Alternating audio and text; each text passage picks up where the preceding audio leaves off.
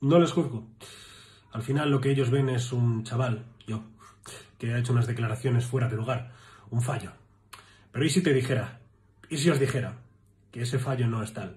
Que es toda una estratagema ideada para llamar la atención de las altas esferas de este país, los políticos, para que por fin, de una vez por todas, nos hagan caso a nosotros, los influencers, uno de los colectivos más desfavorecidos en la sociedad actual.